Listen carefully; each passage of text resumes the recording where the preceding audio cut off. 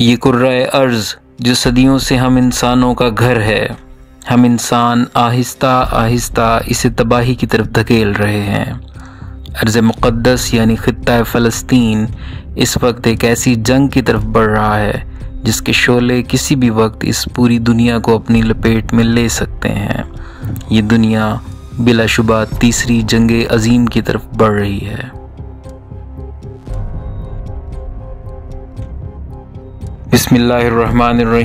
अस्सलाम वालेकुम मेरे मुतजस्सिस दोस्तों।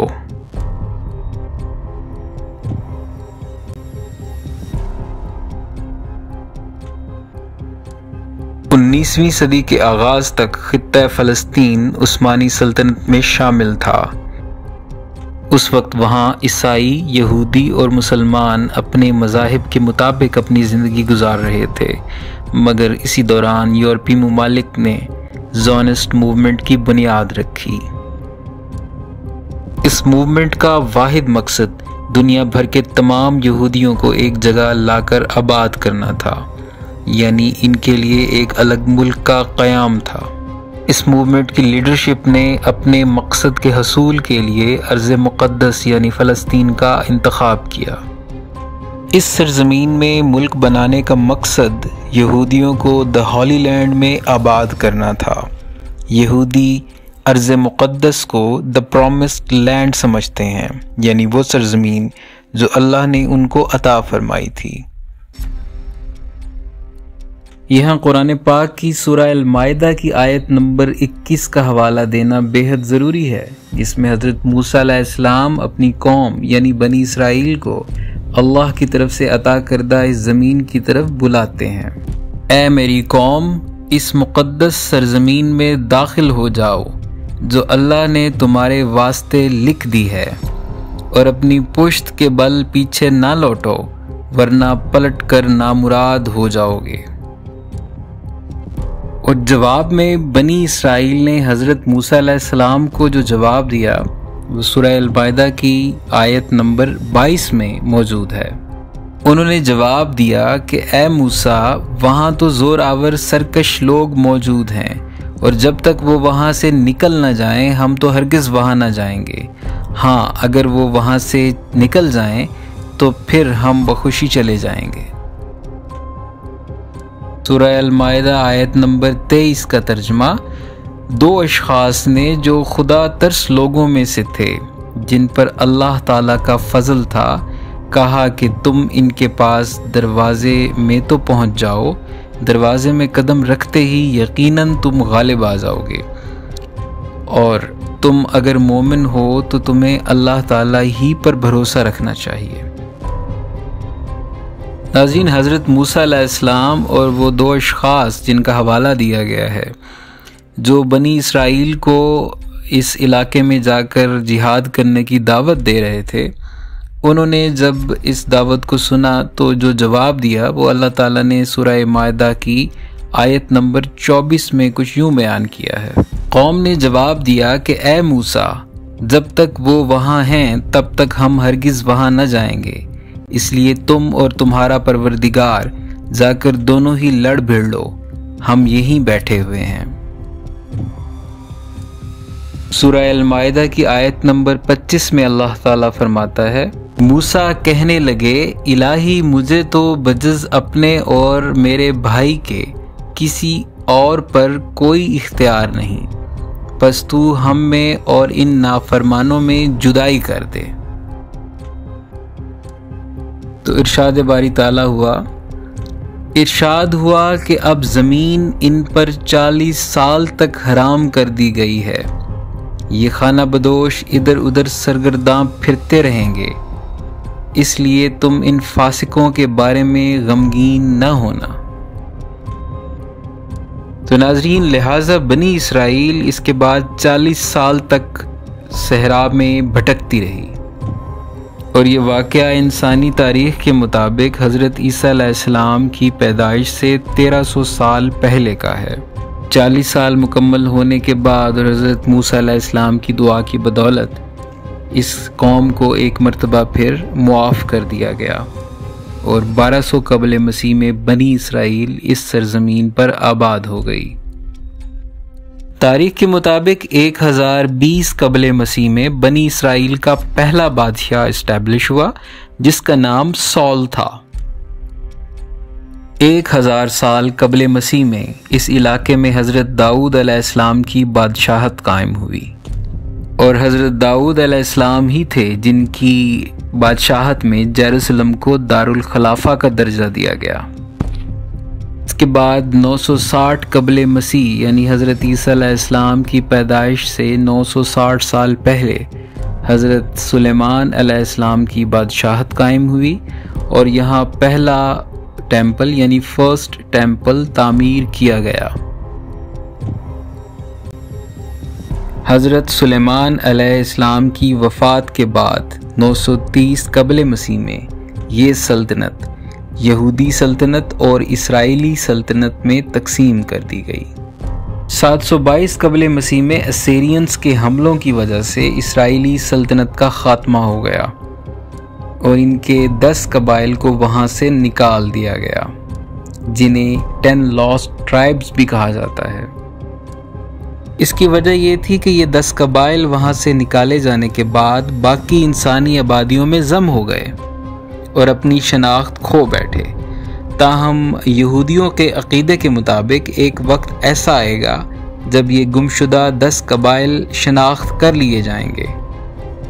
बहरहाल, असेरियंस की यलगार के बाद इसराइली सल्तनत का ख़ात्मा हो गया, जबकि पाँच सौ छियासी कबल मसीह में यहूदी सल्तनत को बाबुल के बादशाह बख्त नसर ने फतह कर लिया। इस लड़ाई में हज़रत सुलेमान अलैहिस्सलाम की यादगार, यानी पहला टेंपल, जिसे फ़र्स्ट टेंपल कहा जाता है, उसे तबाह कर दिया गया। यहूदियों को एक बहुत बड़ी तादाद में कत्ल कर दिया गया या वहाँ से निकाल दिया गया। नाजरीन, यह एक सवाल जहन में आता है कि कुरान पाक के मुताबिक जो ज़मीन बनी इसराइल को दी गई थी और 40 साल सज़ा काटने के बाद इनको मिली थी, आखिर ऐसा क्या हुआ कि ये ज़मीन इनसे छीन ली गई तो नाजरीन, इसकी वजह इस कौम की नाफरमानियाँ थीं। हज़रत सुलेमान अलैहिस्सलाम की वफ़ात के बाद इन्होंने इस सल्तनत को तकसीम किया और शुमाली सल्तनत दस कबाइल के हवाले की गई और जनूबी सल्तनत यहूदी कबीले के हवाले की गई। इन दोनों सल्तनतों में इन्होंने अल्लाह के कवानीन की नाफरमानियाँ की। बुत परस्ती को आम कर दिया गया। हर गुजरने वाली नस्ल के साथ साथ ये लोग और भी नाफरमान होते चले गए। लिहाजा सज़ा के तौर पर इन पर समेरियंस और बेबलोनियंस ने हमले किए और इन इलाकों पर कब्ज़ा करके इन्हें वहाँ से निकाल दिया। इसके बाद दस कबाइल यानी इसराइली सल्तनत में रहने वाले बनी इसराइल के कबीले तो तारीख में जम हो गए। और आज तक गुमशुदा कबीले कहलाते हैं। मगर जनूबी सल्तनत यानी यहूदी सल्तनत के कबीले के लोग आज भी नस्लन यहूदी हैं। कुरान पाक की सूरह बनी इसराइल की आयत नंबर पाँच में अल्लाह ताला फरमाता है, आखिरकार जब इनमें से पहली सरकशी का मौका पेश आया तो ए बनी इसराइल, हमने तुम्हारे मुकाबले में अपने ऐसे बंदे उठाए जो नहायत ज़ोरावर थे और वो तुम्हारे मुल्क में घुसकर हर तरफ़ फैल गए।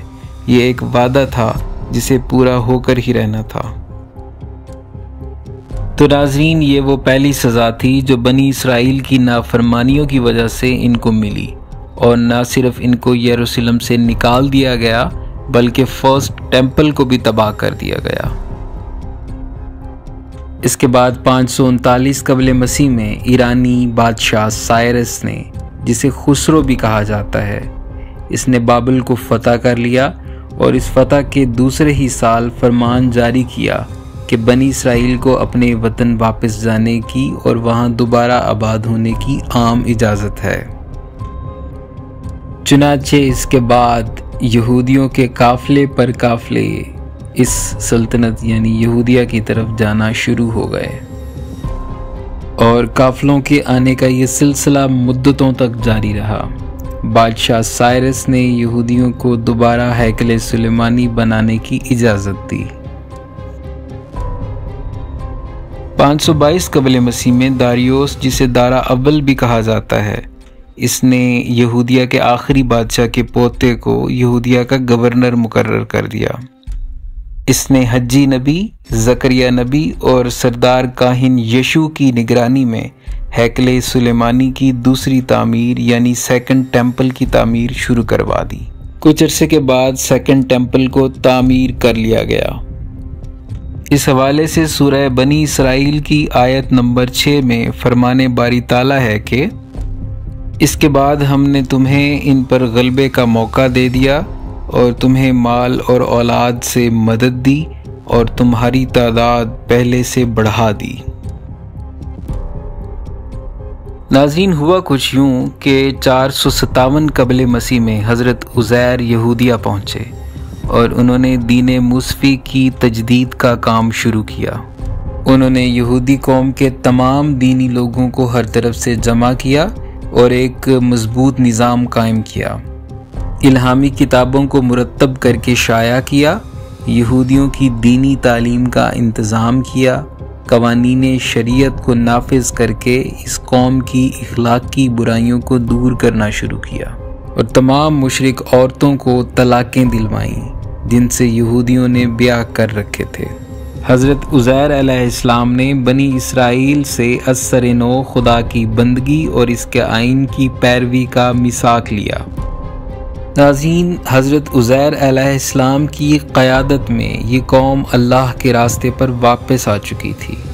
यही वजह हुई कि ईरानी सल्तनत के जवाल के बाद जब यूनानियों का अरूज था तो यहूदियों ने 175 कबल मसीह में तमाम तर यूनानी जबर के बावजूद एंट्यूकस चहारम के खिलाफ पूरी ताकत से लड़ाई की और आखिरकार यूनानियों को इस खत्े से निकाल दिया। सतासठ कबल मसीह में यहाँ एक आज़ाद रियासत कायम की गई। ताहम ये तहरीक जिस कदर इखलाकी और दीनी वलवले के साथ उठी थी, वक्त के साथ साथ खालिसतन दुनिया परस्ती में मगन हो गई। और आखिरकार यहूदी बादशाह हिरोद के ज़माने में यहूदियों की दीनी और इखलाकी हालत गिरते गिरते जवाल की आखिरी हद को पहुँच गई थी। यहूदियों की बेरहरवी का और नाफरमानी का ये निज़ाम सन इकतालीस ईस्वी तक कायम रहा। जब हज़रत ईसा इस्लाम बनी इसराइल की असलाह के लिए आए तो यहूदियों के तमाम मजहबी पेशवाओं ने मिलकर इनकी मुखालफत की और रोमी गवर्नर पोंतस पिलातस से इनको सजाए मौत दिलवाने की कोशिश की। नाजीन यहाँ ये बात बताना नहायत अहम है कि यहूदियों की बेरारवी का ये अलम था कि हिरोद का दूसरा बेटा, हिरोद एंटीबास, जो कि फ़लस्तीन के शुमाली इलाके का मालिक था, इसने एक रक्कासा की फरमाइश पर हज़रत याहिया इस्लाम के सर को कलम करके उस रक्कासा को तोहफे के तौर पर दिया था। और हिरोद का तीसरा बेटा फिलिप, जो कि कोहे हरमून से लेकर दरियाए यरमूक तक के इलाके का मालिक था, अपने बाप और भाइयों से भी बढ़कर रूमी तहजीब में गर्क था। इस इलाके में किसी को भी दीन का काम करने की इजाज़त नहीं थी। सन इकतालीस में हिरोद के पोते हिरोद अगरपा को रूमियों ने इस तमाम इलाके का फर्मा रवा बना दिया।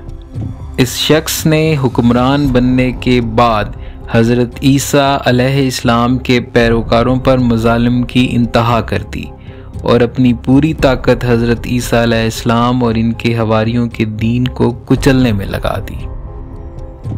नाजीन इस दौर के आम यहूदियों और उनके मजहबी पेशवाओं की जो हालत थी, इसका सही अंदाज़ा करने के लिए हज़रत ईसा इस्लाम के खुतबों का मुताला करना बहुत ज़रूरी है। ये सब खुतबे अनाजील अरबा में मौजूद हैं। और फिर इस कौम की हालत का अंदाज़ा इस बात से भी लगाया जा सकता है कि कैसे एक फहश रक्कासा की फरमाइश पर एक पाकिज़ा इंसान, यानी हज़रत यहिया का सर कलम कर दिया गया। मगर एक आवाज़ भी इस जुल्म अजीम के ख़िलाफ़ इस कौम में से न उठी। इसके बाद इस कौम और इनके मजहबी पेशवाओं ने हज़रत ईसा इस्लाम के लिए सज़ाए मौत का मुतालबा किया। इस मौके पर गिने चुने रास्त बाज लोगों के सिवा किसी ने भी इस बदबख्ती पर मातम न किया। हद ये है कि जब पोंतस पिलातस ने इन शामत ज़्यादा लोगों से पूछा कि आज तुम्हारी ईद का दिन है और कानून के मुताबिक मैं आज सज़ाए मौत के मुस्तक मुजरमों में से किसी एक को छोड़ सकता हूँ। तो बताओ, ईसा को छोड़ूं या बराबा डाकू को? तो पूरे मजमे ने एक ही आवाज़ में कहा कि बराबा डाकू को छोड़ दें। गोया अल्लाह ताला की तरफ़ से आखिरी हजत थी, जो कि इस नाफरमान कौम पर कायम की गई। आखिरकार अल्लाह रब्बुल इज़्ज़त की नाफरमानियों की वजह से इस कौम को एक मरतबा फिर सज़ा दी गई, जब रूमी सल्तनत ने सख्त फौजी कार्रवाई से यहूदी सल्तनत का ख़ात्मा कर दिया। सन सत्तर ईस्वी में रूमी बादशाह टाइटस ने यरूशलेम को फतह कर लिया और कत्लेआम में एक लाख तैंतीस हज़ार यहूदी मारे गए। सत्तासठ हज़ार आदमियों को गिरफ़्तार कर लिया गया। और बहुत से यहूदियों को जिला वतन कर दिया गया। तमाम दराज कद और हसीन यहूदी लड़कियाँ रोमी फातहीन ने आपस में तकसीम कर लीं और सेकंड टेंपल को भी मिसमार कर दिया गया। और इस वक्त फ़लस्तीन से यहूदी इकतदार और आबादी ऐसे ख़त्म हुई कि 2000 साल तक यहूदी इस इलाके में नहीं आ सके। हैकल सुलेमानी इसके बाद फिर कभी नहीं बन सका। और ये वो सज़ा थी जिसका ज़िक्र कुरान पाक में सूरह बनी इसराइल की आयत नंबर सात में कुछ ऐसे इरशाद हुआ है। देखो, तुमने भलाई की तो वो तुम्हारे अपने ही लिए भलाई थी। और बुराई की तो वो तुम्हारी अपनी ज़ात के लिए बुराई साबित हुई। फिर जब दूसरे वादे का वक्त आया तो हमने दूसरे दुश्मनों को तुम पर मुसलत किया, ताकि वो तुम्हारे चेहरे बिगाड़ दें और मस्जिद में इसी तरह घुस जाएँ, जिस तरह पहले दुश्मन घुसे थे। और जिस चीज़ पर इनका हाथ पड़े, इसे तबाह करके रख दें। नाजरीन, इसके बाद काफ़ी अरसे तक जेरूसलम पर ईसाइयों का कब्ज़ा रहा और वहाँ यहूदियों के दाखिले पर सख्त पाबंदी थी। इसकी वजह यह थी कि ईसाइयों के अकीदे के मुताबिक हज़रत ईसा इस्लाम को यहूदियों ने सज़ाए मौत दिलवाई थी, लिहाजा वो यहूदियों को किसी सूरत बर्दाश्त नहीं करते थे। ताहम जब इस्लाम का गलबा हुआ और हज़रत उमर फ़ारूक के दौर में यरूशलेम को फ़तह किया गया तो इस शहर को इंटरनेशनल सिटी का दर्जा दे दिया गया। और तमाम इब्राहिमी मजाहब, यानी यहूदियों, ईसाइयों और मुसलमानों को आज़ादाना यहाँ इबादत करने का हक दे दिया गया। इसके बाद सलीबी जंगों की वजह से ये इलाका एक मरतबा फिर ईसाइयों के कब्ज़े में गया। मगर सलाहुद्दीन अयूबी ने इस इलाके को एक मरतबा फिर फतह कर लिया। और इसके बाद से ये इलाका 19वीं सदी तक मुसलमानों के कब्ज़े में रहा। यहाँ तक कि पहली जंग अजीम के बाद जब उस्मानी सल्तनत का जवाल हुआ तो यहाँ एक मनज़म तरीके से यहूदी आबादकारियाँ शुरू कर दी गईं। नाजरीन 1948 में इसराइल के नाम से फ़लस्तीन पर गासबाना कब्ज़ा शुरू किया गया, जो कि मगरबी ताकतों की हिमायत से बढ़ता चला गया। और सदियों से यहाँ पर बसने वाले फ़लस्तीनियों को, जो कि अल्लाह के दीन पर कायम हैं, ये बदबख्त कौम एक मरतबा फिर जुल्म सितम करके इन इलाकों से बेदखल किए जा रही है। अर्ज़ मुक़दस यहूदियों, ईसाइयों और मुसलमानों तीनों के लिए बिलाशुबा एक मुक़दस मकाम है। मगर मुसलमानों की हकूमत में तो इस मुक़दस सरजमीन पर सबको आज़ादाना इबादत करने की इजाज़त थी। मगर ये बदबख्त और ालिम कौम जो कि मासूम नबियों की गुनहगार और कातिल है, पिछले पचहत्तर बरसों में फ़लस्तीनी मुसलमानों के इलाकों पर काबिज है। और एक मरतबा फिर अल्लाह के दीन के ख़िलाफ़ हर तरह का जबर कर रहे हैं। ये शैतान के रास्ते पर हैं, दज्जाल की आमद के मुंतज़र हैं। बिलाशुबा इस ालिम कौम से किसी खैर की कोई तो नहीं की जा सकती। और यही वजह है कि इस इलाके की बदलती हुई सूरत हाल एक आलमी जंग यानी तीसरी जंग अजीम की तरफ़ जा रही है। दुनिया एक मरतबा फिर बहुत बड़े बदलाव की तरफ़ जा रही है और कुर्ब क़यामत से मुतलक बहुत सी अहादीस में मौजूद निशानियाँ पूरी होती जा रही हैं। बिलाशुबा, ये वो वक्त है जिसमें हमें बहुत गौर करने की ज़रूरत है। इस दौर फितन में अपने और अपने प्यारों के जिस्मानी तहफ़ के साथ साथ ईमानी तहफ़ को भी यकीनी बनाना होगा। यहूदी पूरे जज्बे से दज्जाल की आमद का इंतज़ार कर रहे हैं और अहादीस के मुताबिक दज्जाल के फितने से बचने के लिए सूरह कहाफ की हिदायत लेने की बेहद ज़रूरत है। ये वो वक्त है कि जब उल्मा इकराम की बहुत बड़ी ज़िम्मेदारी है कि वो अपने तमाम तफरक़ात को छोड़कर उम्मत को इस दौरे फितन से बचने के लिए तैयार करें। कुरान पाक, जो कि किताब हिदायत है, इसका सही फहम इंसानों तक पहुँचाएँ, ताकि हम सुरह कहाफ में मौजूद हमत को जान सकें और आने वाले फितने के लिए ख़ुद को और अपनी नस्लों को तैयार कर सकें। नाजरीन, इस बारे में आप भी अपने ख्याल का इजहार ज़रूर कीजिएगा। हमें आपके कमेंट्स का इंतज़ार रहेगा। इस दुआ के साथ कि अल्लाह रबुल्ज़त हमारी और हमारी औलादों की इस फितने से हिफाजत फरमाए और हमारी मौत जो बरहक है, इसे आना ही है, ईमान की हालत में आए। आमीन। इल्म हैरत के सफ़र में हमारा साथ देने के लिए आपका बेहद शुक्रिया। इन एक और वीडियो के साथ आपसे फिर मुलाकात होगी। अपना और अपने प्यारों का बेहद ख्याल रखिएगा। अल्लाह हाफिज़।